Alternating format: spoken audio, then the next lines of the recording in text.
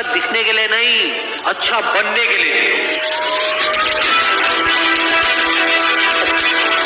इज़्ज़त और तारीफ़ मांगी नहीं जाती, कमाई जाती। सपने वो नहीं है जो हम नींद में देखते हैं।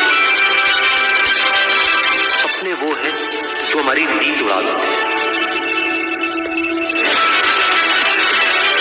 अगर ज़िंदगी को समझना है तो पीछे देखो। लेकिन अगर ज़िंदगी को जीना तो आगे देखो